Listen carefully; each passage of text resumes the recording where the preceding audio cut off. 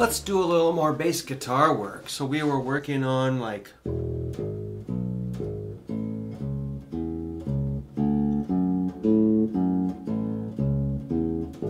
Oops. And we were doing some. How about this? We're gonna, we did. Now I just want to double that and go.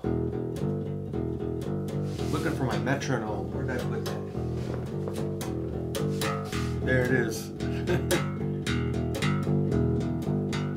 so I'm doing two E's and two G's and repeating.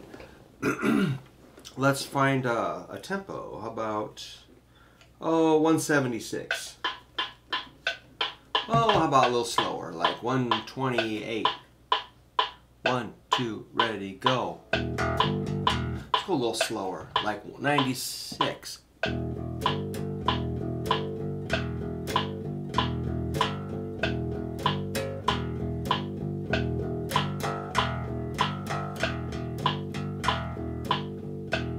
So I'm thinking eighth notes, one and two and three and four and one and two and three.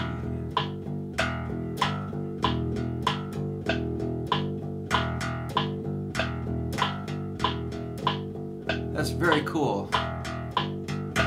Let's take the tempo down to like 78, just for fun. Tempo is really interesting to play with. yeah, a metronome is a really good tool one and two and three and four and one and two. And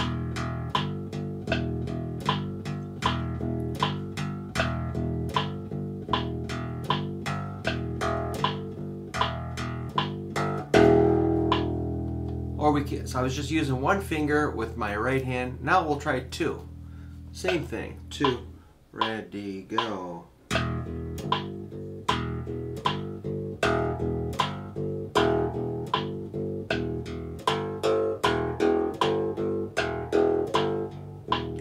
really sensitive to tone. If I don't hit it just right, it might be a little scrapey or scratchy.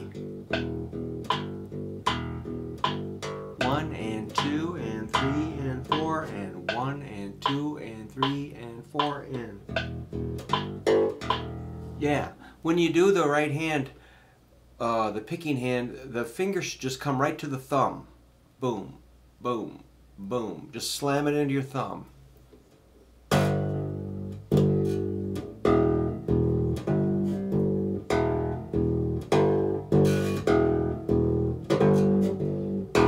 Easier said than done. All right. So that's that's kind of why I like I like using a pick. It takes out. It's a little bit lazy, but my style is more of like Ramones meets, you know, kind of punchy hard rock and kind of da da da da. I like that eighth note business, but uh, it's up to you. You can use the pick or your fingers, uh, whichever. I I'll kind of switch back and forth. Let's do a blues scale. This is uh, the E blues scale. It's really, really cool. We're to go open E to third fret G, fifth fret A, sixth fret B flat. Let's use the middle finger at sixth flat, uh, sixth fret. Ring finger, seventh fret B. Let's do that again. We got open E, third fret G, index, and then we'll shift our hand up and do five, six, seven.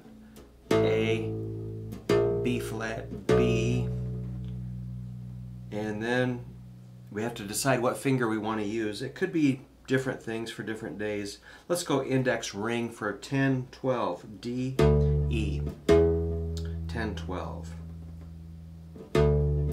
which is a very, it's kind of like Big John.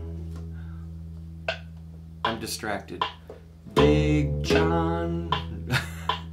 Big John. Big John. It's just kind of a little practice. Two, three, four. All right, let's review.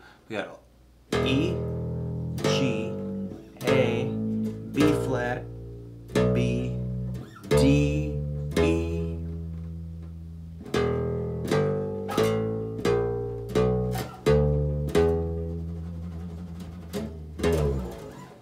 did a slide.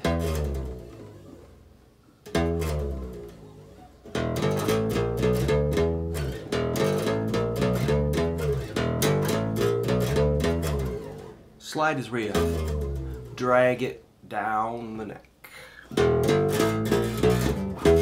You could go ring ring at the end or ring pinky. So we're gonna start getting that pinky involved. It's not gonna like it.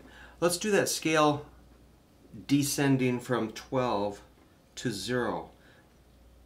Let's use uh, any finger you want. We got 12, 10, 7, 6, 5, 3, 0. So a scale will go up, a scale goes down.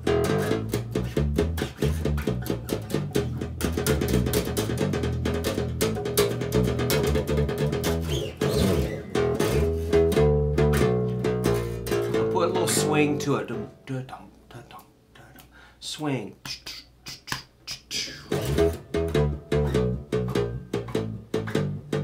Hitting every note two times with a swing feel. It's got kind of a, a skippy sound. Yeah.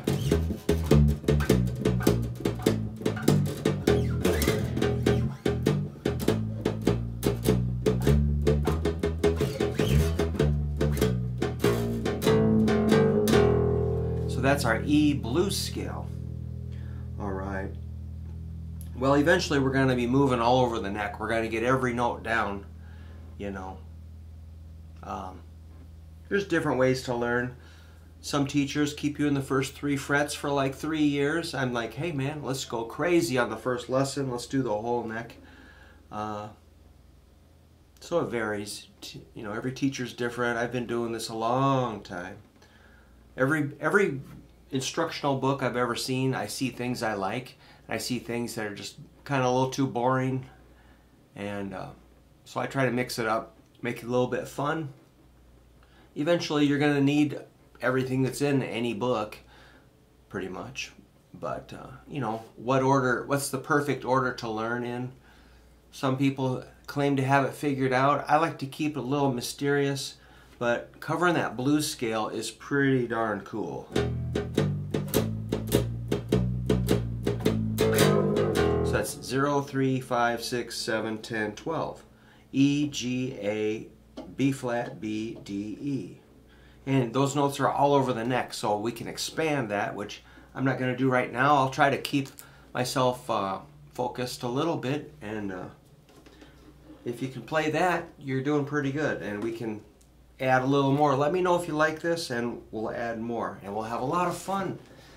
Try to memorize as much of this as you can and practice it over and over and use a metronome. Then your timing will develop.